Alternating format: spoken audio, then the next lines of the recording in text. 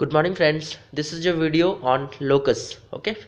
The locus of a point equidistance from two intersecting line. क्या हो जाएगा उस पॉइंट का लोकस जो क्या होता है? इक्विडिस्टेंस होता है हमेशा फ्रॉम दो गो line two intersecting lines okay तो let this is the first line and this is the another second line मान लिया दिस ये फ़र्स्ट लाइन है जिसका नाम दे देते हैं this is A B and this is C D ठीक है? अब हम लोग को लेना क्या है? एक पॉइंट लेना है विच इज़ इक्वी डिस्टेंस उससे आप लोग को एक बात बता दें कि लोकस क्या होता है? Locus is a moving point यहाँ पे देखिए, एक मूविंग पॉइंट है, ठीक है? जिसको हम लोग लोकस बोलते हैं। और वो हमेशा क्या करेगा? ये जो गिवन कंडीशन है ना, उसको हमेशा सेटिस्फाई करेगा ओके तो जस्ट एजम करते हैं कि यहाँ पे एक पॉइंट है। देखिए ध्यान से दिस इज़ अ पॉइंट और इक्वी डिस्टेंस मतलब हमेशा वो परपेंडिकुलर डिस्टेंस का बात करेगा। That is perpendicular distance okay ये सब चीज़ आप लोग को पता होना चाहिए। ठीक है नाउ ये एक पॉइंट है, देखिए अगर ध्यान से देखा जाए तो दिस इज़ परपेंडिकुलर डिस्टेंस अगर ये एक मीटर है तो देखिए यहाँ से भी वो एक ही मीटर होना चाहिए which is also perpendicular to that line दोनों लाइन से इक्वल डिस्टेंस पे होगा, ठीक है? अगर करस्पॉन्डिंग मतलब सिमिलरली देखा जाए, ये एक पॉइंट हम लोग को मिल गया। अगर आप ये ध्यान से देखिएगा तो यहाँ पे भी एक पॉइंट ऐसा आएगा। अगर ये हाफ़ यूनिट है तो ये भी हाफ़ यूनिट ही होगा।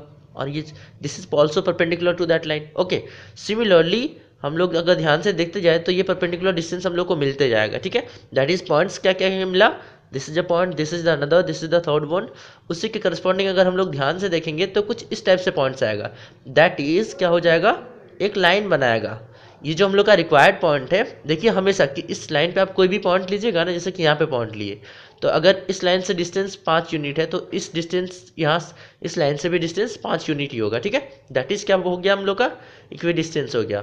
तो this is our required locus line okay मतलब इस लाइन पर हम लोग कोई भी पॉइंट लेंगे तो क्या होगा? दोनों लाइन से इक्वी डिस्टेंस हो जाएगा, ठीक है? तो लोकस को हम लोग कैसे डिफाइन करेंगे यहाँ पे? कि द परपेंडिकुलर बाइसेक्टर परपेंडिकुलर नहीं द बाइस एंगल बाइसेक्टर बोल सकते हैं ना? देखिए ध्यान से this angle and this angle is is same that is we can say that the bisector of the angle between the lines यहाँ पे लिख देते हैं intersecting lines is the angle bisector या फिर डायरेक्टली बाइसेक्टर लिख देते हैं। Bisector of the angle between the lines angle between the given lines given lines. That is हम लोग का गिवन लाइन क्या था? ए बी था एंड सी डी था। आप लोग चाहे तो कुछ अदर नाम भी दे सकते हैं, ठीक है? तो वो क्या हो जाएगा? बाइसेक्टर ऑफ़ द एंगल देखिए, ये टोटल एंगल था, मान लेते हैं थर्टी डिग्री था तो ये फिफ्टीन हो जाएगा, ये फिफ्टीन हो जाएगा, ठीक है? तो ये हम लोग का हो गया लोकस लोकस किस चीज़ का? एक पॉइंट का, जो इक्विडिस्टेंस होगा हमेशा दो इंटरसेक्टिंग लाइन का ओके चलते हैं नेक्स्ट नेक्स्ट एक और पॉइंट लेते हैं। ये सेकंड थ्योरम है। सेकंड थ्योरम क्या है कि the locus of a point equidistant from two given points इससे पहले वाला में क्या था? टू इंटरसेक्टिंग लाइन गिवन था हम लोग का। दो आ, मतलब गिवन लाइन से इक्वल डिस्टेंस पे होना चाहिए था। बट अभी का कंडीशन क्या बोला है कि दो गिवन पॉइंट से इक्वी डिस्टेंस होना चाहिए। जो थर्ड पॉइंट हम लोग का हो जाएगा मतलब जो मूविंग पॉइंट होगा। चलिए देखते हैं कि चलिए मान लिए कि this is a first point and this is the another. This is a and this is b. Both are given. Is, this is given मतलब ये फिक्स्ड हो गया and this is also given okay according to this एक third point होगा जो दोनों point से equal distance पे हो. तो चलिए मान लेते हैं कि थर्ड पॉइंट यहाँ पे एक पॉइंट मिला आपको. हम लोग एक पॉइंट लिए. मान लीजिए कि ये डिस्टेंस अगर वन यूनिट है तो ये भी वन ही यूनिट होगा. मतलब मिड पॉइंट ले लिए ए और बी का. ठीक है? अगर आप इसके थोड़ा ऊपर एक पॉइंट लेते हैं, ठीक है? ध्यान से देखिएगा. This is a second point अगर ये पाँच यूनिट है ना तो ये भी फाइव यूनिट ही होगा इक्वल डिस्टेंस पे। आप स्केल से मेजर भी कर सकते हैं, इसका जस्ट ऊपर में पॉइंट इसके नीचे भी आप ले सकते हैं this is the point this is the line and this is the another line तो आप ध्यान से देखेंगे तो कुछ इस तरह से हम लोग का स्ट्रक्चर आएगा। मतलब हम लोग का जो पॉइंट है, कुछ इस डायरेक्शन में मूव कर रहा है, जैसे कि अगर यहाँ पे है तो ये सॉरी थोड़ा ऊपर हो गया, कोई नहीं। ये हो जाएगा हम लोग का मूविंग पॉइंट ठीक है? तो इस सब पॉइंट को अगर मिला दिया जाए तो हम लोग का एक रिक्वायर्ड लाइन आ जाएगा, ठीक है? ये कुछ इस तरह से लाइन है which is perpendicular to this line line कौन सा था?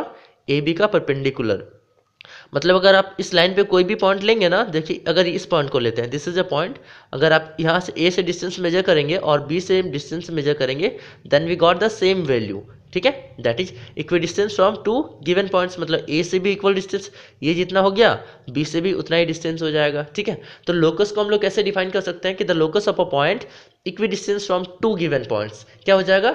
इज़ द परपेंडिकुलर बाइसेक्टर लिख देते हैं यहाँ पे is the perpendicular bisector perpendicular bisector का मतलब क्या है? देखिए, ये तो परपेंडिकुलर है और इक्वल डिस्टेंस को डिवाइड कर रहा है। जैसे कि ये जितना है, वही ये भी उतना ही होगा, ठीक है? This is a midpoint of A B और वो क्या है? परपेंडिकुलर है, ठीक है? इसलिए लिखा मैंने perpendicular bisector of the line joining the two points of the line joining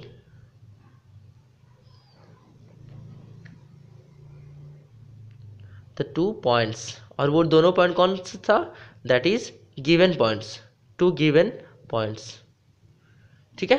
तो क्या हो गया? फिर से कंबाइनली देखते हैं। The locus of a point equidistant from two given points is the perpendicular bisector of the line joining the two points okay first वाला क्या था हम लोग का? The locus of a point equidistant from two intersecting lines is the bisector of the angle between the given lines okay तो ये हम लोग का दो थ्योरम है लोकस का तो ठीक है, आज के वीडियो में बस इतना ही बताना था, ठीक है। तो thanks for watching okay have a nice day